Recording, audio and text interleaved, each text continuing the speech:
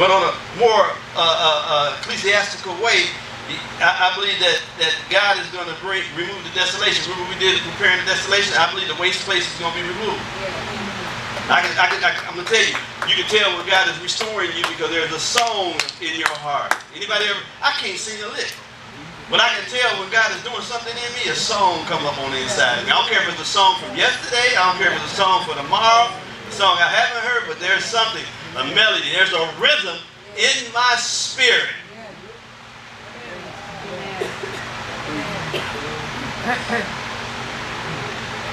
Yeah, yeah, in my spirit.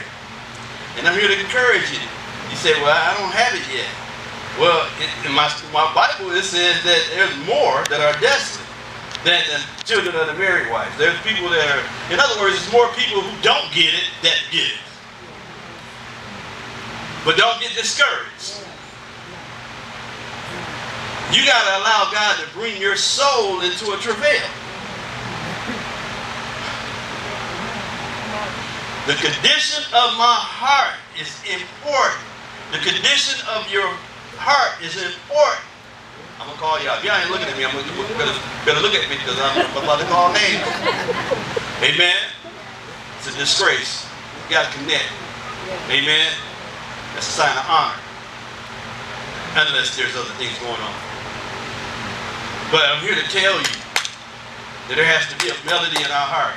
There has to be a rhythm on the inside of us. New Testament people have a, a song. They have songs are a part, a sign of our victory and a, and a sign of our release. So there should be a certain, you know what I'm saying? It, it, it uproots discouragement and depression. You know what I'm saying? So you have to cultivate an atmosphere so that when we come into the house of God, we don't have to prime the pump. You already, you came, you became a song, so it's on the inside of you. But the reason why we don't have that melody, that song, that rhythm in the spirit is because we still think we're children of the desolate, and we're not. We're married to Him. He's there's one husband. That's Christ. So the more we understand the consummation of our union to Him, the greater the release to be. The greater the demonstration of that union will be. The efficacy of my faith will increase when I recognize that. That's why Philemon says that one, it's only one chapter, verse 6, that the communication of your faith become effectual by the knowledge of every good thing that's in you that's in Christ. I put value on what's in this, what I carry. But my, we understand that's why it said the travail of the soul.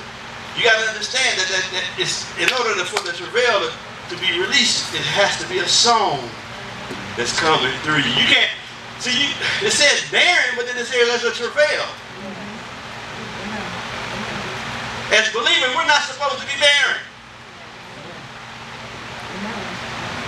We're not supposed to be desolate. We have the Spirit of Christ on the inside of us. We have the earnest on the inside of us. We're not supposed to be barren, you guys. You got that? We're not supposed to be barren. Tell you every way ain't supposed to be barren. We're not supposed to be barren. Not at all. We're not supposed to be barren. But I like this too on a higher level. That I believe that God is in a season that He's going to connect people that don't have what they think they don't have. That's been desolate in understanding. That's been falling short in their walk with the Lord. That's what the precious promise in that first verse lets you know that God is in every place. That's that's See, the, the, the walls that was against us has been taken out of the way. The ordinance that was against us has been taken out of the way. So I have access to him. The highway of holiness. I can go and I can, you know what I'm saying? I can bask in the presence of God on a consistent basis. That I don't have to be alienated from the life of God because of the blindness of my heart. Really, seriously, this is not spooky stuff. This is the legitimate stuff that God wants to bring to us. And we got to make up our mind that it belongs to us. Favoritism, bigotry of the old order is over. God doesn't have uh, favorites. Oh. Uh, yeah, Boston do all the study, so him and God got inside there. No. No, I believe knowledge. Knowledge does this work. You know, you know. I believe that you spend time with the Lord. He educates you in the things of the Spirit. But all of us has been given a measure of faith, a measure of grace, a measure of rule. It's up to us to activate it. We're gonna talk about that. It's up to us. I don't have to walk around with a desolate mentality. I don't have to walk around in exile or in isolation. You get what I'm saying? I don't or alienation. I don't have to walk around like I don't have what God has spoken concerning me anyway. Once I gotta discover it though. So tonight we're gonna try to discover some things. I, I want to empower you to understand this. That even in your weakness, you already know the scripture. Come on. It's Yes. what made perfect. So even when I don't feel like I'm saved, I'm saved. Even when I don't feel like smiling, I smile. Because it's not about how I feel. It's what he's already predetermined concerning my life. Holy Spirit is here to make up the void. My life don't have to, I don't have to live my life uh, uh, being void, without form, or in desolation, or in waste. That I have I have the divine engineer in me. His name is the Holy Ghost. He's the, the, the architect of everything. But it's all connected on covenant. The more I understand about my covenantal rights and what's written in scripture, that's why I put it on Facebook. I'm going to talk about this, this particular three verses in light or in lieu of the new covenant. That's why he poured out his spirit on all flesh, y'all. We're gonna, we, we're gonna come into maturity. The expectation of this house is not that we be perfect, but that we be mature. Amen. Tell your neighbor, uh-oh, that's us. God want us to grow up in the things of the Spirit. I'm here to tell you, He want us to grow up. He don't want us to just bring forth wind. He wanted us to produce what He intended. We carry something, you guys. We do. I know you don't feel like it. That baby ain't kicked in a long time. huh? And I'm here to tell you that God wants us to some things. And we got to get to that point to understand that even in spite, in my weakness, even though I don't feel like it, He already preset everything concerning my life. I've been eulogized. I told you guys that before. We've been eulogized, which He's spoken a benediction over my life. So I refuse to agree with anything in my life that's not representation or represents the kingdom. I'm sorry.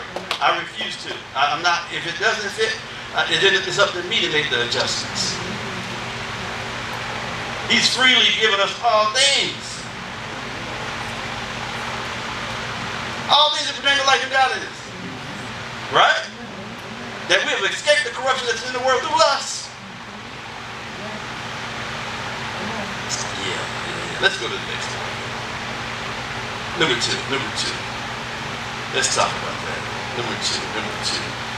Enlarge the place of thy tent, and let them stretch forth the curtains of thy habitation. Spare not, lengthen thy cords, strengthen thy stakes. no, I like to say that. It just sounds real good. It, it, it, it makes you, make you just like, oh. I mean, I read scriptures like that. I don't just like, enlarge the place and stretch." I like to put a little emphasis on it. Because I, I believe in the original language, that's what it was. It said, enlarge the place of thy tent. That's what I want to talk about. God wants to enlarge the place of our tent.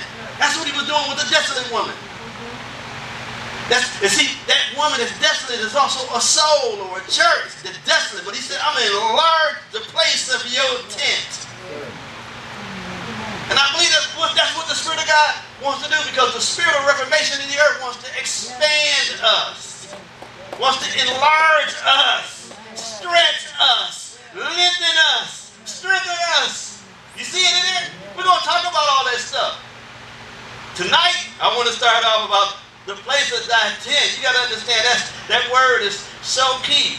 Not only was there a historical physical tent, the Ohel, O-H-E-L, I'm probably not saying it right, but I'm, that's, the spelling is correct. It's the same tent that, that, that Moses had.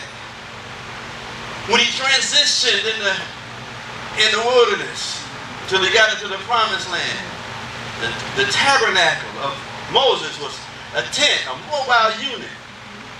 Amen. And you can go through scripture, you can see all the tents, different places, the journeyings of them, even the, the 42 places uh, when they were in the wilderness. All that speaks of something. Everything that was written was written for our admonition. Amen. And for our learning. So it says that large the place uh, thy tent. And I, one day I was doing a message, and I think I was doing all my cords are broken, and the Lord was dropped in my spirit.